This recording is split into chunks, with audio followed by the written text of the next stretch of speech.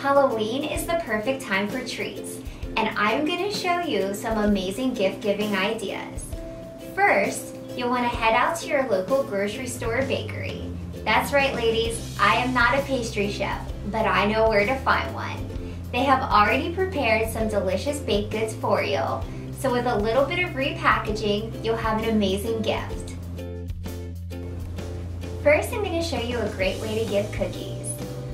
Buy chocolate chip cookies from your local grocery store bakery and stack them in a mason jar. And then you put fabric, I use tulle for mine.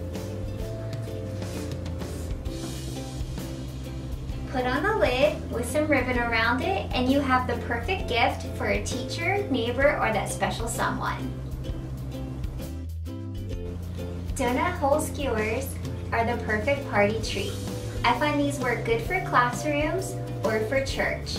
All you do is put your donut holes onto a stick or a skewer and then you can wrap them in cellophane and add some ribbon. Next I'm going to show you an awesome cupcake party favor.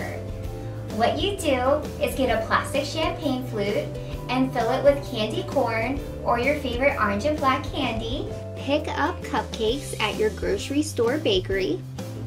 And then I just place mine in Halloween sleeves. And then place it on top of the champagne flute. This is the perfect party favor, or you could take them in for a classroom treat. With the deliciousness of your local grocery store bakery and some simple repackaging, you could have some amazing party favors and presents.